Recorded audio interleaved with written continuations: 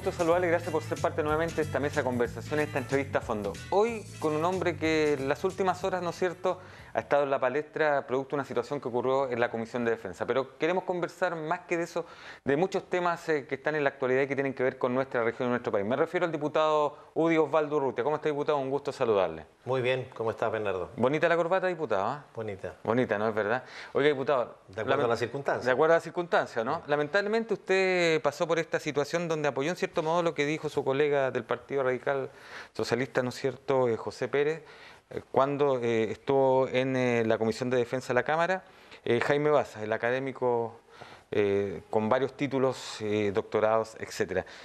¿Se arrepiente de lo que pasó, diputado? Mira, a mí lo que me llama la atención es que la prensa le haya dado tanto, tanta difusión a un tema menor que no demoró, que no, no significó más de 15 minutos la comisión. De hecho, estuvimos dos horas discutiendo el tema de fondo. Esto ocurrió hace dos semanas atrás. Y después llegaron otros dos constitucionalistas que seguimos discutiendo. O sea, le dedicamos al tema de fondo, que era si había un proyecto de ley que había presentado otro parlamentario, era constitucional o no. Que a mí me parecía que no era constitucional porque era discriminatorio y atentaba contra la igualdad eh, establecida en nuestra constitución y contra la libertad de trabajo y que además era discriminatorio. Y por eso invitamos a cuatro constitucionalistas. Él fue el primero que llegó y el diputado Pérez le hizo presente que él lleva varios años en el Parlamento, no le parecía la forma de presentarse en la comisión. No hay que olvidarse que hace algunos años atrás hubo un ministro que no usaba corbata, que era el ministro Schiffelbein, no sé si te acuerdas, y que eh, quiso ingresar a la sala eh, y no lo dejaron entrar porque andaba sin corbata.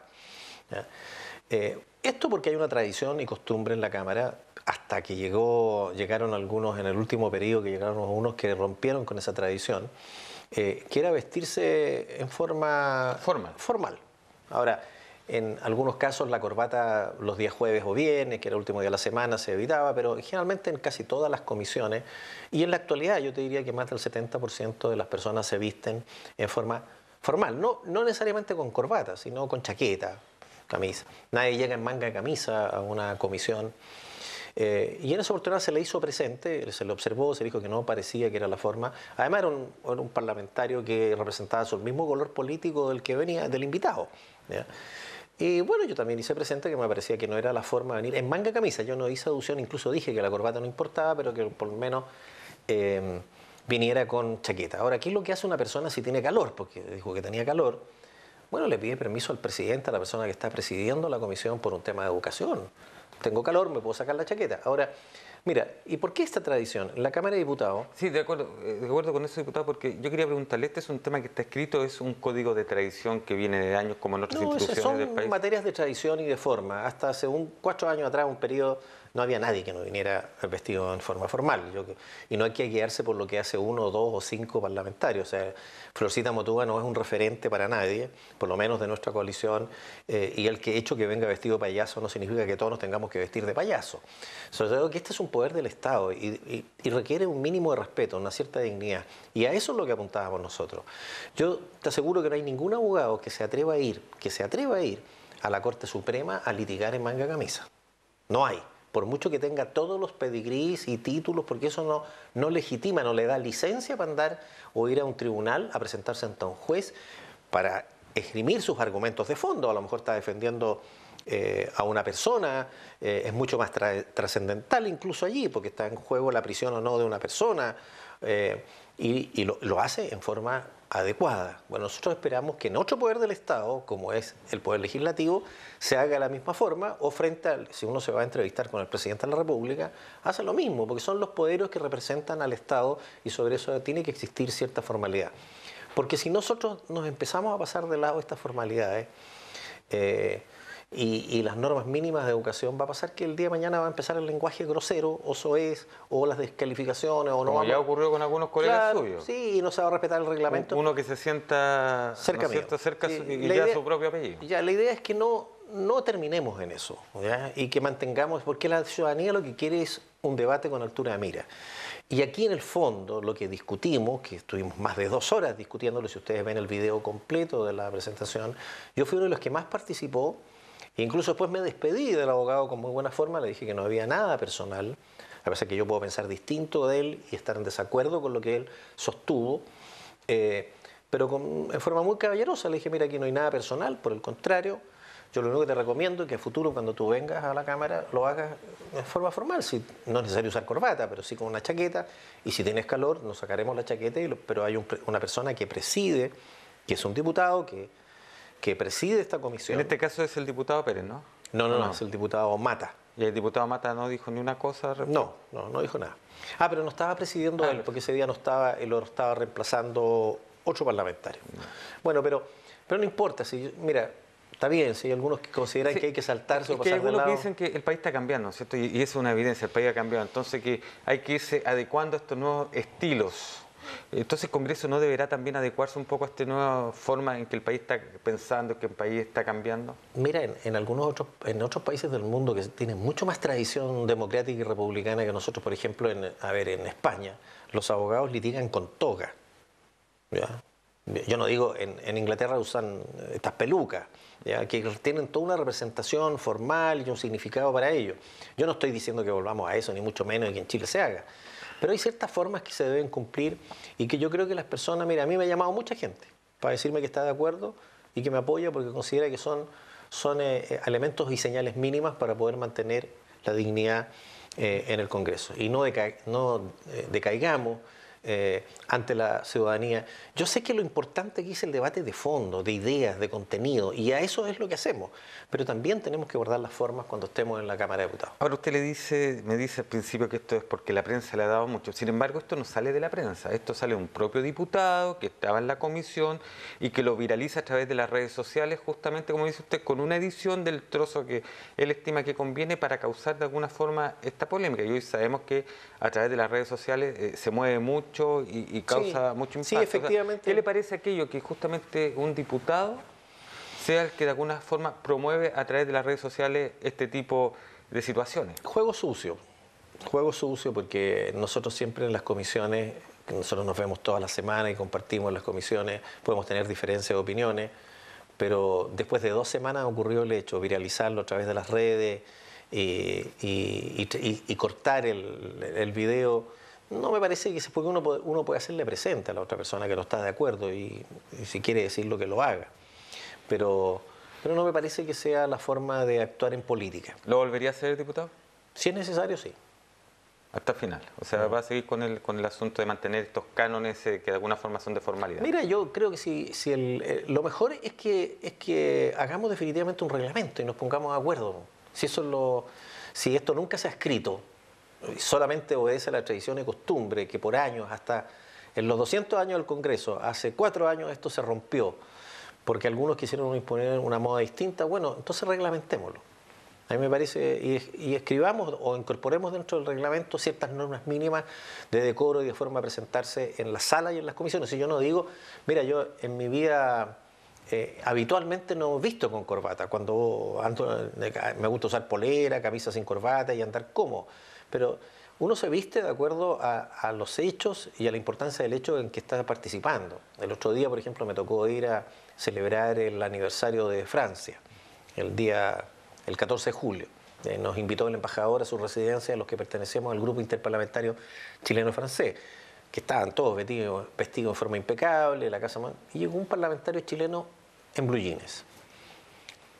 Yo creo, todo el mundo lo miró, yo creo que no es una forma de, mantener el respeto por ese aniversario de una república amiga tan, tan importante que está celebrando eh, y que ha, hecho una gran inversión para, para, hacer esta celebración en que no escatimaron esfuerzo y un parlamentario llega vestido de una manera que no me parece adecuada, que podrá ser para ir de paseo, para cualquier otra cosa, pero no a una ceremonia oficial en que está el embajador, hay ministros y hay autoridades y representantes del pueblo francés que estaban allí y que yo creo que no les pareció bien esto.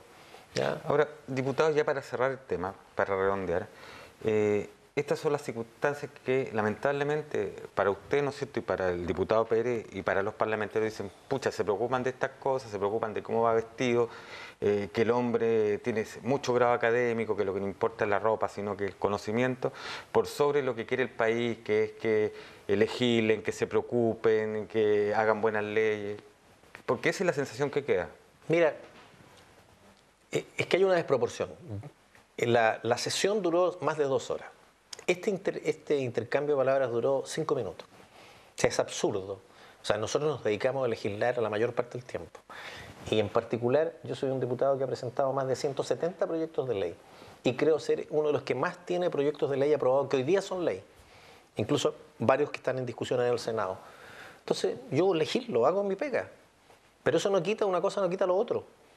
O sea, eh, hacerle presente a un invitado que vi que, fue, que no es la forma de eh, concurrir a un poder del Estado y que debe, por lo menos, si lo va a hacer de esa manera, que le pida permiso al presidente si se quiere sacar la chaqueta, es una, forma, es una manera, forma mínima de educación. Nosotros siempre cuando discutimos un proyecto vamos al fondo y lo discutimos en profundidad y, y dedicamos horas a esto, antes, durante y después de las comisiones. Uno se prepara para ir a una comisión para poder intervenir y discute a fondo con los invitados cuando es necesario hacerlo.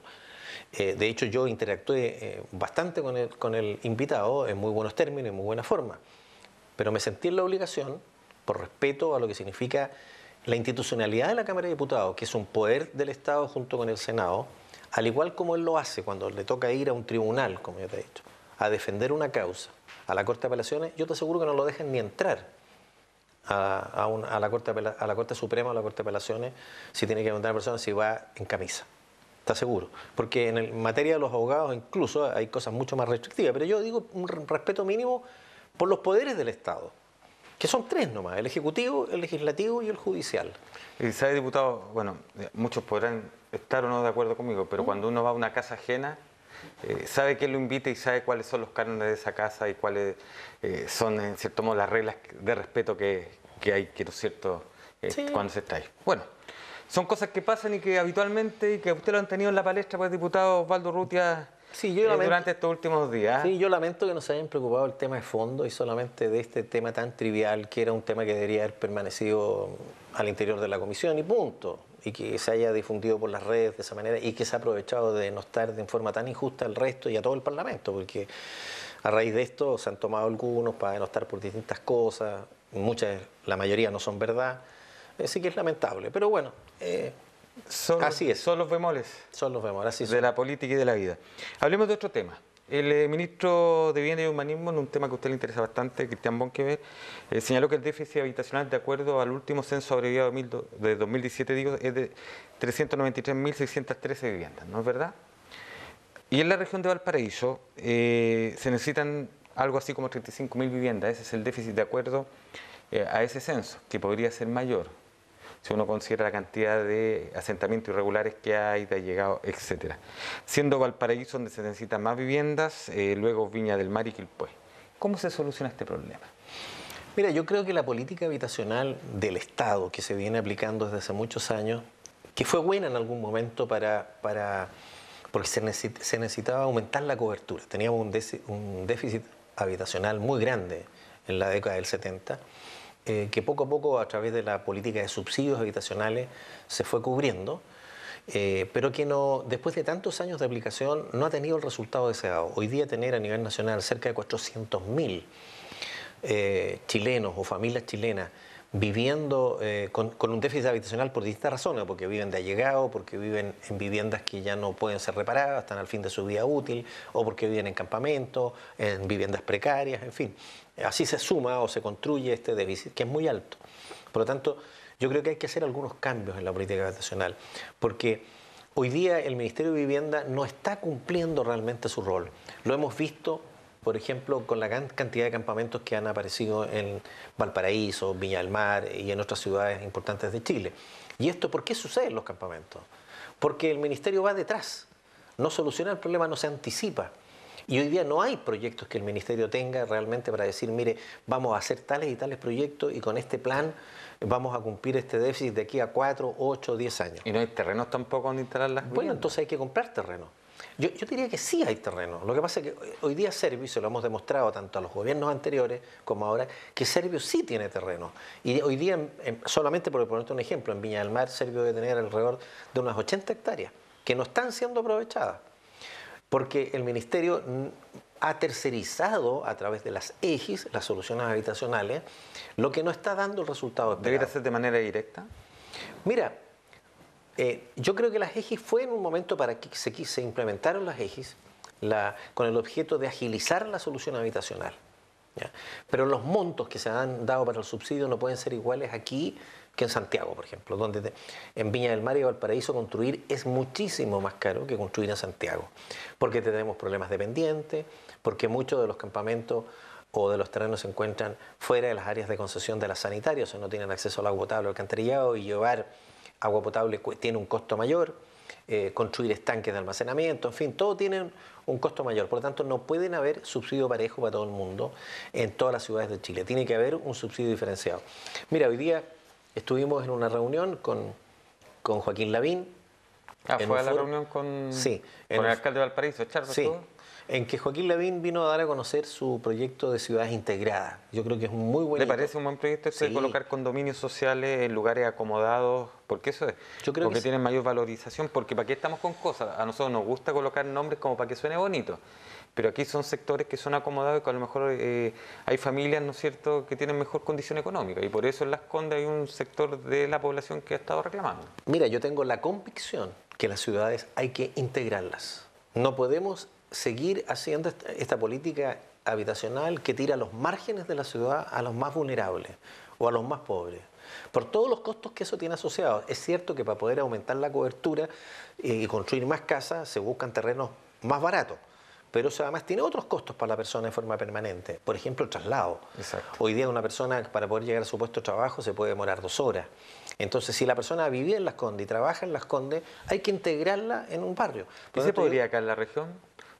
Mira, de hecho aquí se han construido barrios... Sí, eh, con... Con, eh, frente a la Caleteguería, eh, fue el primer caso hace 10 años en Chile. No, no, el primero fue Miraflores. ¿Cuándo? Hace aproximadamente unos 8 años. sí, no, pero yo me refiero a de Concon porque ahí hubo toda Sí, pero acuérdese que hubo toda una polémica por diputados. Sí, las casas de los pescadores, pero es un proyecto chiquitito. Personas que decían, ¿cómo si nosotros pagamos 200 millones de pesos por estos departamentos, ellos no van a pagar nada y van a vivir al lado? Sí, pero, pero es un proyecto chico. En cambio, en Miraflores Alto, eh, al lado, en un costado del estadio del, eh, Parque Sausalito, con vista al mar, tú hoy día ves un conjunto de cerca de 400 soluciones habitacionales, o sea, mucho más grande que incluso lo que está planteando la BIN y muchísimo más grande que Concon, que tienes viviendas de muy buena calidad, con una estupenda vista, inserto en un parque. En una, dentro de una soledad, de una ciudad, de un barrio que está absolutamente consolidado. Son edificios redondos, ¿no? No, no, no, bajo los redondos. Bajo los redondos, perfecto, ya. Eh, que ahí, tenemos consultorios, vamos a construir un SAPO, hay, carabineros, hay bomberos, hay todo el equipamiento necesario, hay equipamiento comercial, hay colegios, hay liceos, eh, y está absolutamente integrado. O sea, esas personas se han integrado a un barrio que ya está consolidado en pleno centro, en pleno en plena ciudad, no está en los barrabales ni en los límites. Y ese fue un proyecto que se hizo hace ya por lo menos unos ocho años, si mal no recuerdo, en Viña del Mar, y de una gran envergadura.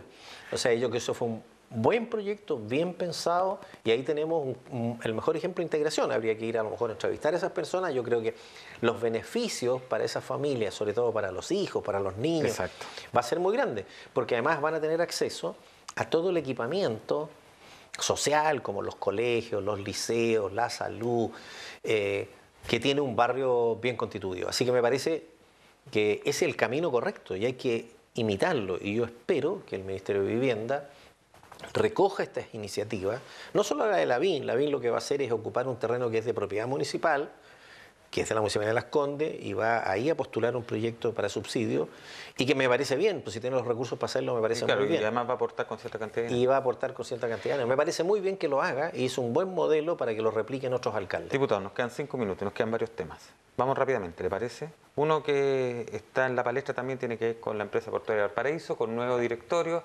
El exintendente Raúl Celis es su presidente y se propone, ¿no es cierto?, como primeras metas, primero desafío, el proyecto de Terminal 2 y también el, muelle para cruceros. ¿Cómo ve la posibilidad? Bueno, me parece muy bien. Yo creo que eh, el intendente Celi... Eh, el ex intendente. El ex intendente Celi y actual presidente del directorio tiene una gran tarea por delante. Eh, yo espero que ahora, cuando él, cuando se cambia de, sombrero y de pasa de intendente a ser presidente del directorio, tenga, se va a dar cuenta lo importante que es eh, que se construya el Terminal 2 para el desarrollo portuario de Valparaíso y se construya el Terminal de Crucero, que son dos cosas eh, muy necesarias en que hay que eh, atraer las inversiones o que se hagan las inversiones para desarrollar tanto el transporte de carga y Valparaíso pueda seguir compitiendo como el principal puerto de la zona central y además para poder recibir a los cruceros. Da la impresión que el terminal de cruceros tiene o a una mayor cantidad de criterios a favor. Sin embargo, el Terminal 2 sigue con algunas críticas y últimamente se ha conocido, ¿no es cierto?, de que y, se ha planteado la preocupación desde el municipio que podría causar daños a la salud por la emisión de contaminantes en lo que es su operación. ¿Qué le parece esta nueva arista que surge? No, mira, los contaminantes, la polución que se ha planteado en, eh, el estudio de evaluación ambiental tienen que ver con cuando la roca que va a ser necesario para poder ampliar los sitios de atraque eh, no nos olvidemos que esta es una ampliación del terminal 2, o sea, del espigón que ha existido por año y que lo vamos a ampliar para que pueda recibir buques con capacidad de estos buques llamados post-Panama, que son buques de 330 metros de eslora, que hoy día no pueden llegar a ese sitio al Terminal 2 y pueda recibirlo. Y esto significa hacer un, enrocado, sacar roca de una cantera, pues trasladarla y colocarla allí. Y durante el proceso de construcción, obviamente, si tú vas a sacar roca de una cantera, se va a producir polución, pero eso se puede mitigar. Ahora, no es en el Valparaíso, eso no va a ocurrir donde se está construyendo el sitio, va a ocurrir en la cantera donde se está haciendo. Son elementos que en toda construcción eh, ocurren, que hay, hay, hay eh, elementos de contaminación que se pueden mitigar y que se levantan. ¿Pero no debiera afectar mayormente? No, y va a afectar durante el proceso de construcción. Es, es, un tema bastante acotado que se va a poder, como te digo, mitigar. Hay formas de mitigarlo y que además no ocurren adentro del puerto, sino ocurre donde está la cantera.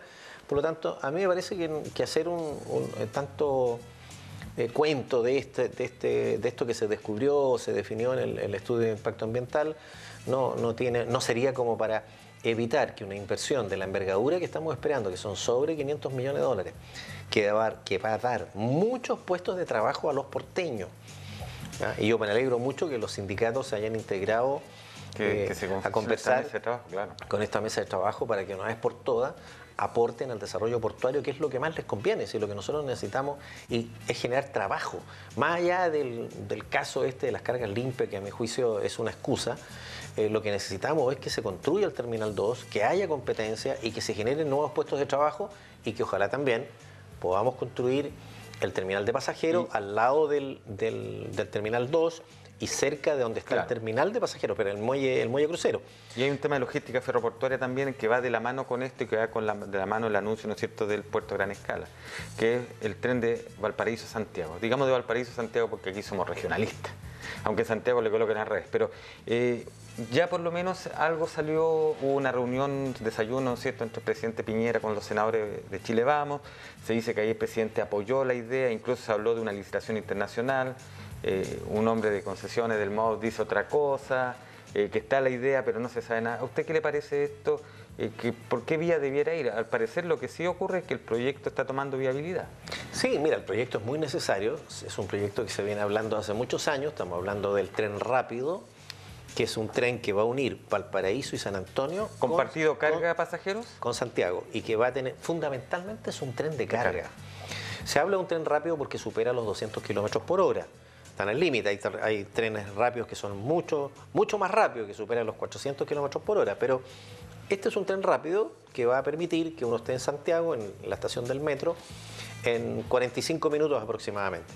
Pero la idea es descongestionar. O sea, primero, hoy día en el puerto de Valparaíso y San Antonio no se mueve más allá del 5% de la carga en promedio. En Valparaíso incluso es menos que en San Antonio, debe ser alrededor del 2% que se mueve a través de trenes. Ahora, y eso, eso congestiona la ruta 68 y la 78. Correcto. Estamos terminando el programa, lamentablemente. O sea, usted está porque este proyecto va Pero por supuesto, esto es un proyecto necesario para se le va a dar el impulso necesario. Pero estamos cooperando para que este proyecto salga adelante y que el Ministerio de Transporte intervenga porque hoy día hay cinco proyectos sobre la mesa. Perfecto. Y hay que definir cuál es el mejor. ¿Por ley de concesiones o ley general de ferrocarril? Yo creo que por ley de concesiones. Muchas gracias, diputado, por estar hoy con nosotros, por conversar eh, en esta entrevista a fondo, porque sin duda todos los temas hay que y, usted, ¿no es cierto?, siempre tiene la valentía, y eso hay que reconocerlo, de, tratar los temas cuando se tratan, incluso de complicados para usted mismo. Que esté muy bien. Gracias, Bernardo, que esté muy bien. Gracias. Diputado Osvaldo Urrutia, entonces, conversando con nosotros en esta entrevista a fondo. Que esté muy bien usted y su familia.